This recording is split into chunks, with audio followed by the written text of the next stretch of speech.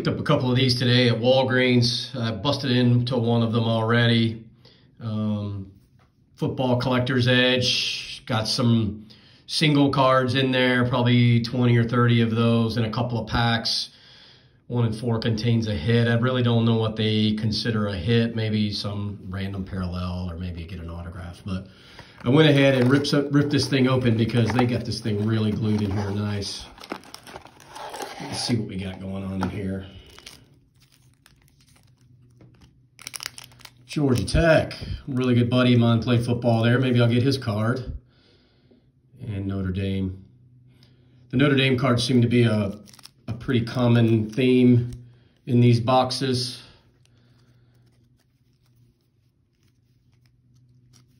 Let's just start going through these for fun. Jake Fromm, All-American Draft, Leaf. His optic card's really taken off a lot better than I thought it would. J.K. Dobbins. Gabe Davis. Tee Higgins.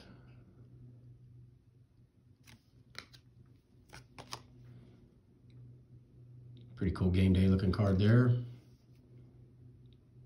I can never say this guy's name right. Cardale Jones. You Ohio State fans, let me know how to say that. Sam Cowart. Paxton Lynch. Oh, my man, Eddie Lacy. I got to meet him at the Super Bowl after the 2014 season. Really cool guy. I hate that his career fizzled out as quickly as it did. Notre Dame. As if we're not going to get enough Notre Dame cards today.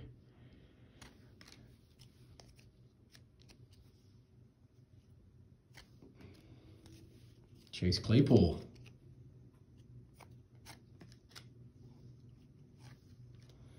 Mark done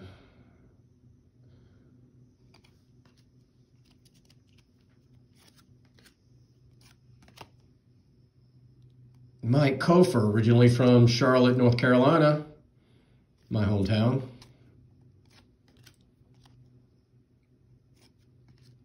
Matt Cassel. He's made a fortune in the NFL off of basically no talent. The Cannon, Jay Cutler.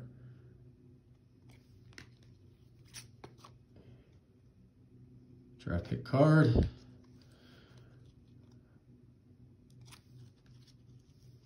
I'm not sure that I got a hit in here, what they would consider the hit. Maybe this Cutler card. Maybe this Dreamius Smith. I'm not sure. Overall, pretty crappy so far.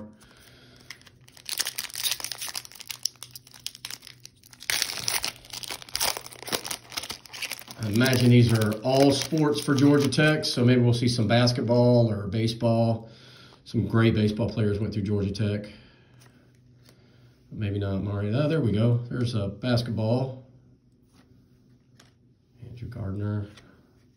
Mark Teixeira. Kenny Anderson. That dude could ball. Demaryius Thomas. And let's see what kind of Notre Dame cards we get.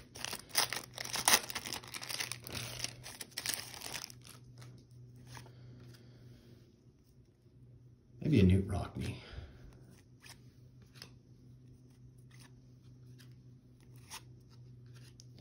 Or not. There we go, Knute Rockne. And John Lattner. Overall, pretty crappy. But I enjoy opening up these boxes and seeing what we get. Some decent surprises. I'm really excited about this Eddie Lacy card.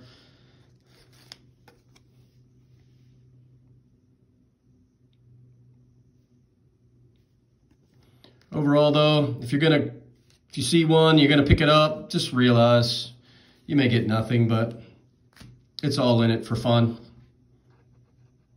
Thanks for watching, guys.